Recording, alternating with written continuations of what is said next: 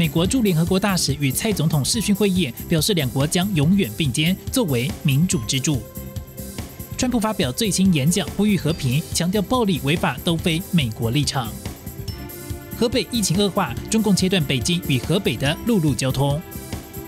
香港国安处周四清晨拘捕十一人，其中包括声援反送中的保护伞餐厅发起人黄国同律师。更详细的新闻内容，请锁定新唐人亚太晚间八点新闻。